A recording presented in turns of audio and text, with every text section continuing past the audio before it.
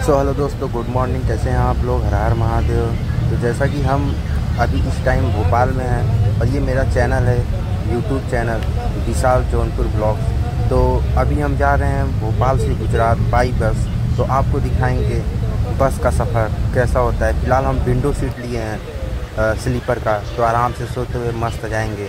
चलिए आपको और आगे दिखाते हैं। हाँ और एक बात और इस चैनल पे जो नए हैं वो सब्सक्राइब कर लीजिए। बहुत ही टाइम लगता है भाई, हर चीज़ करने में। ये अपनी बस है लग्जरी बस।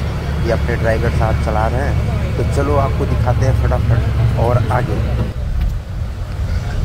ये अपना ट्रैवलिंग मतलब जाते समय का रात का नज़ारा, क्योंकि अपन नाइट में जा रहे हैं तो रात भर सफ़र करेंगे। सुबह में शायद आठ नौ बजे पहुँच जाएँगे। ये अपना खाना खाने के लिए कैंटीन पे रुकती है ना हर बस। तो ये कैंटीन है ढाबा जिसको बोलते हैं। तो यहाँ पे रुकी हुई है। ये कोई इंदौर के पास में ही है। ये और हाँ खाना तो बहुत बढ़िया मिलता है और होटल भी क्या लाजवाब था कि आप लोग को बता नहीं सकते हैं। ये देखिए तो यहाँ पे अपन नाश्ता वास्ता किए हैं, फिर यहाँ से निकलेंगे तो जाएँगे दूसरे स्थान पे मतलब कि अभी ये एक दो स्थान पे और रुकेगी। देखिए, ये जो है ना, ये दूसरा स्थान है, ये मतलब वो नहीं है। ये अपन आए हैं, फिर यहाँ पे भी रुके रुका हुआ है बस तो फटाफट नाश्ता वास्ता करें। रात को बज रहा है दो दो ढाई बज रहा है।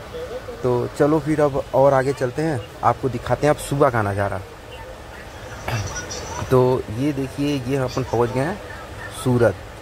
तो ये सूरत का नज़ारा है एकदम सुबह सुबह का। भाई, यहाँ पे गर्मी तो बहुत कम है हल्की हल्की ठंडी है और बहुत ही मज़ा आता है। चलो फ़िलहाल अब चलते हैं फटाफट। ये आ गए अपन होटल, जहाँ पे हमको रुकना है, क्योंकि आज अब दो तीन दिन यहीं रहना है, साइड यहीं पे अपनी है। भाई तो आप लोग चैनल को फटाफट सब्सक्राइब कर लो, बेल आइकन को ऑन कर लो, तभी नोटिफिकेशन जाएगा। ये मेरा YouTube channel Vishal Jaunpur blog आ गया है। अब आप लोग को इस पर अच्छी सी अच्छी वीडियो मिलती रहेगी। चलो फ़िलहाल वीडियो को करते